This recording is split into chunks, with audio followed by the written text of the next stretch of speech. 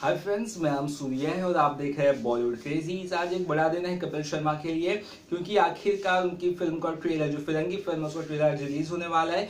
थोड़ी सी सीरियस वाली फ़िल्म है, थोड़ा सा कॉमेडी एलिमेंट तो बहुत ही कम है, क्योंकि हिस्टोरिकल फ़िल्म है, वो भी आज़ादी के ऊपर तो कॉमेडी एलिमेंट ना के बराबर तो नहीं बनूँगा बस थोड़ा बहुत ही होगा।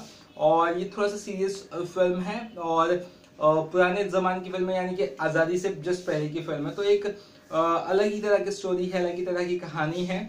बहुत बड़ा रिस्क लिया है कपिल शर्मा ने, और ये फ़िल्म का प्रमोशन भी नहीं करने वाले कपिल शर्मा ने खुद ये कहा, और डायरेक्टर ने भी खुद ये कहा। उन्होंने ये भी कहा, कुछ प्रमोशन करने की ज़रूरत नहीं कपिल शर्मा ने भी कहा कि अब मैं किसके शो पे प्रमोशन करे जाऊँ? सब मेरे शो पे आते तो मैं किसके शो पे जाऊँ? तो फ़िल्म का प्रमोशन भी नहीं होने वाला है। और इस फ़िल्म में इशिता दत्ता और मोनिका गिल आई थिंक तो फ़िल्म किस तरह से होगी वो तो बात की बात है, आज जब ट्रेलर आएगा तो पता चलेगा काफ़ी कुछ। और ट्रेलर जहाँ तक आप सोचोगे कब आएगा तो मैं आपको बता दूँ। नॉर्मली जो भी उनके पोस्टर्स वगैरह भी रिलीज़ हुए तो वो दोपहर को डेढ़ दो या ढाई बजे के बीच में ही रिलीज़ हुए अभी तक जो भी पोस्टर रिलीज़ हुए। तो ऐसे ही अगर ट्रेलर भी रिलीज़ होगा तो आई थिंक दो तीन बजे के आसपास ही रिलीज़ होगा।